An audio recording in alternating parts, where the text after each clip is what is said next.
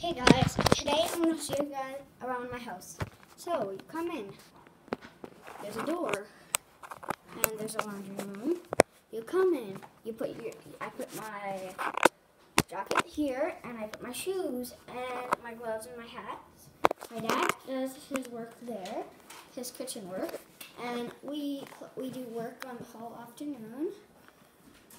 And here, this is where we relax on the couch and our TV. My dad works up there, and we have a deck. And sometimes we go play outside, but yeah, we do. So, and now we're going to be going to my room.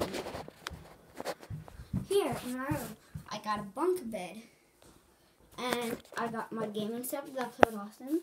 There's my hockey things, a calendar, and my dread.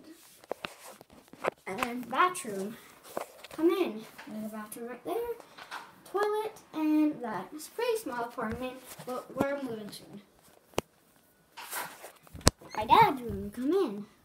His bed. He watches TV. He uses this and his calendar.